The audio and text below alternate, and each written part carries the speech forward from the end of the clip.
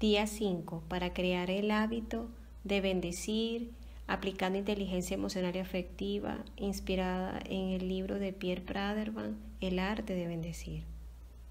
Hoy compartiré con ustedes algunas de las experiencias sorprendentes que experimentó Pierre Praderman. Una vez había organizado para la Jornada Mundial de Alimentación un concierto, cuyos beneficios irían a parar a unos grupos campesinos de África, con los que mantenía estrecha vinculación. Una orquesta afroantillana ofrecía gratuitamente sus servicios para aquel concierto que habían anunciado en radio y prensa. El técnico del salón de actos donde iba a tener lugar el concierto mostró desde el principio una enorme hostilidad frente al proyecto. Por razones desconocidas para mí, hasta el punto de que tuve que llamar a otro técnico para instalar los micrófonos y la iluminación. Dos horas antes del concierto, el primer técnico se presentó en el escenario y quitó todos los micrófonos menos dos. El amigo africano, que dirigía la orquesta, estaba aterrado. Con solo dos micrófonos, imposible dar un concierto con una decena de personas y un grupo de canto, exclamaba. Nos fuimos los dos a ver al técnico. Desde el primer momento manifestó una hostilidad total, rayana con el racismo. Al principio sentí una enorme cólera, pero con la misma rapidez me di cuenta de que la situación no la arreglaría con mi cólera, y el público iba a llegar en poco menos de un par de horas.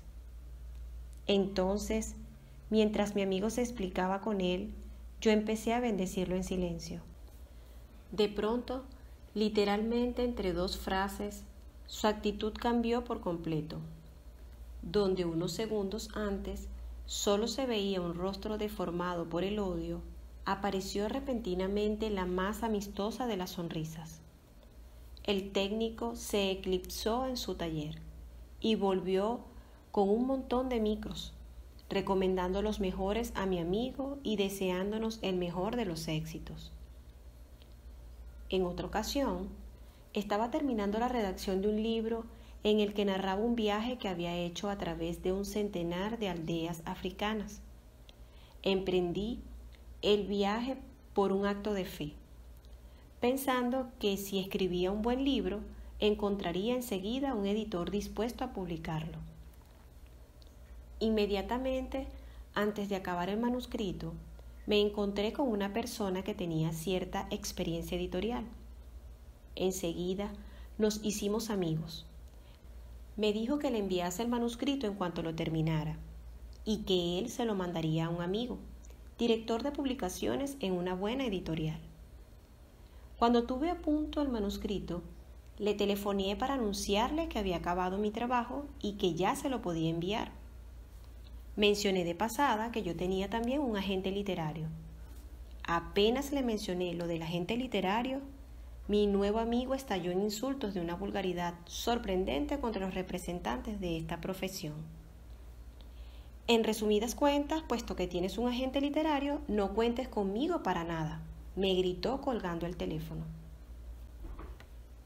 Los días siguientes, Simplemente porque yo no quería guardar una imagen tan negativa de aquella persona, empecé a bendecirlo en silencio cada vez que pensaba en él.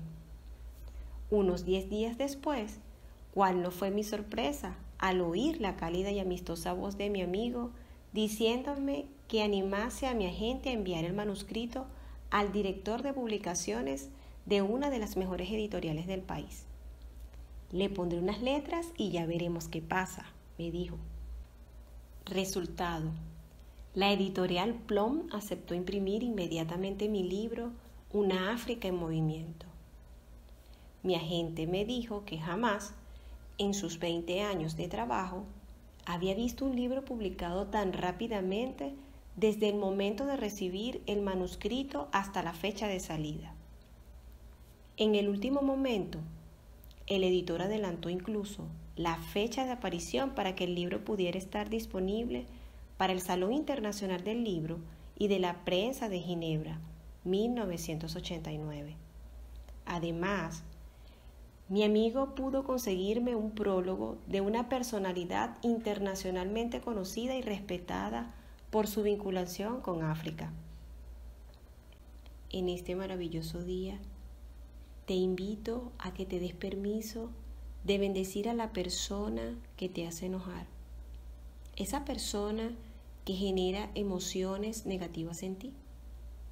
Cada vez que pase por tu mente su nombre, la experiencia que te hace enojar o la acción o el comportamiento que te hace enojar de esa persona, bendice el bien en ella.